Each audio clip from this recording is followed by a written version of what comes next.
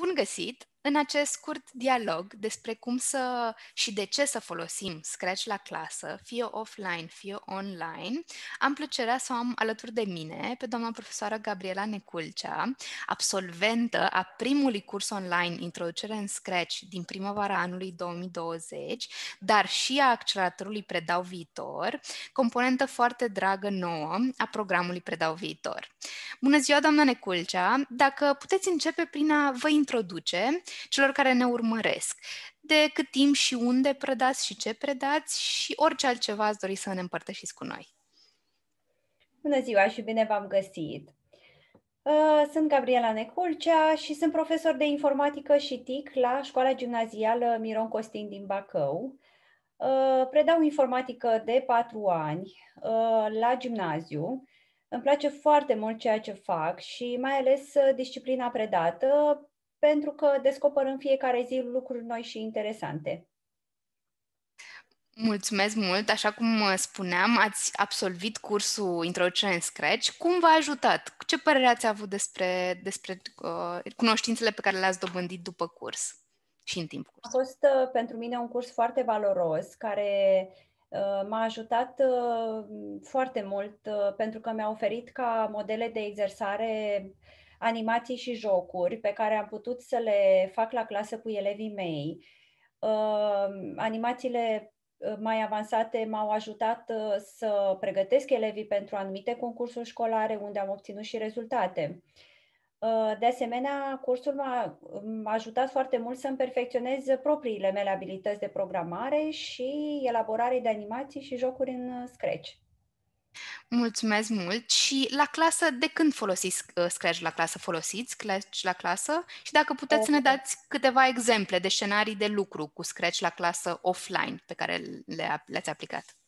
Sigur că da, deci folosesc foarte mult Scratch la clasă. Uh, am folosit Scratch chiar din primul meu an de predare. Uh, la vremea respectivă era versiunea Scratch 2. Uh, iar ulterior, când am urmat cursul de Scratch, am învățat mult mai multe, inclusiv um, anumite extensii din Scratch 3, uh, opțiuni mai avansate, de exemplu lucruri cu liste, creare blocuri de proceduri proprii. Um, am aplicat la clasă toate proiectele pe care le-am realizat uh, pentru cursul respectiv.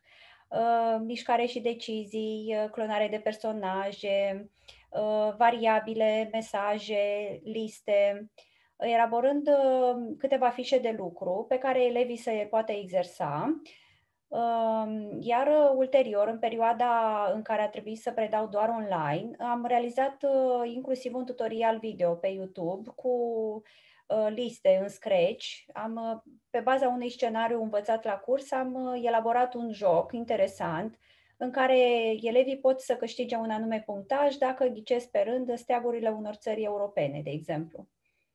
Sună foarte bine, mulțumesc. Deci online ați recomanda uh, colegilor noastre să facă aceste tutoriale chiar ei înșiși și cum, cum mai vedeți uh, uh, Scratch-ul se mai poate preda altfel online? Ce alte scenarii? Mai... A, cu siguranță, da. Păi faptul că a trebuit să predăm online destul de mult timp ne-a făcut să ne perfecționăm tehnicile.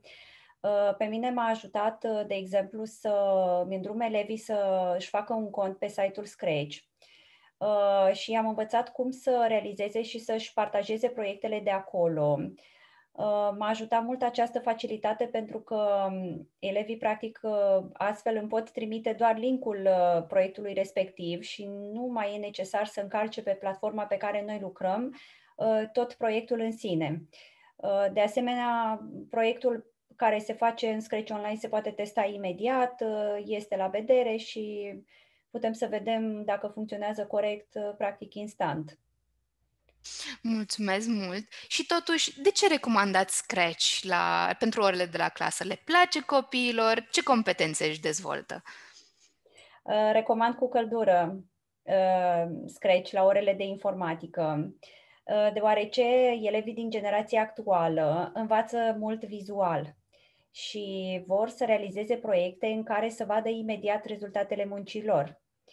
Uh, practic, Scratch este programul perfect care combină algoritmii cu animația și elevii pot realiza jocuri interesante în care își dezvoltă abilitățile de programare și imaginația.